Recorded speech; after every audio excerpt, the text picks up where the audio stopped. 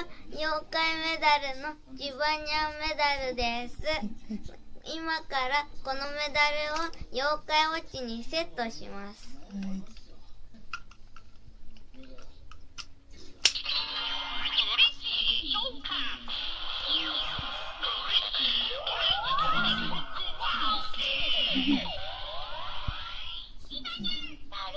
っていう感じで妖怪ウォッチは音声になります。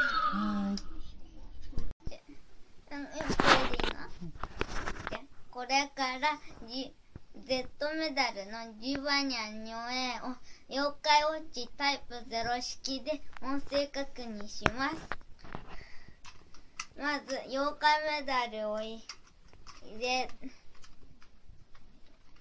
入れて、うん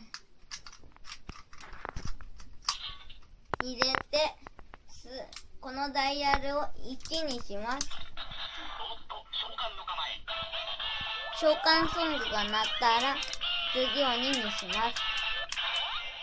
で、召喚ソングが、うん、召喚。